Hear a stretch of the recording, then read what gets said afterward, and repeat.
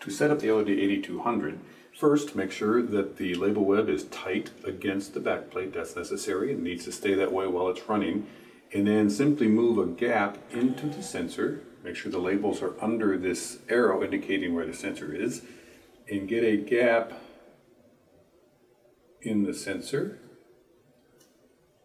And then use the gap quick set function by simply pressing both of these up and down arrows at the same time and it will select to this spot. When this light is on, as indicated here, this is the gap setup. You want it on this bottom LED in this green area. And then you should be able to go.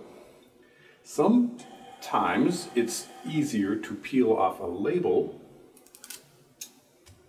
and then you can simply advance to that liner only space and then you can do the setup there instead.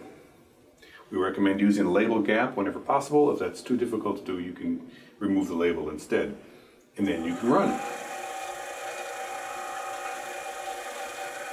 This gray area indicates the lights that should be on when it's running. You see it's going down to the bottom LED during the gaps, and it's up at this top LED in the gray area during the labels. If it goes beyond the gray area, that's fine. As long as it stays in that area while it's running, uh, the sensor's working correctly. It's really all there is to it. There are up and down adjustments if you need some fine adjustment.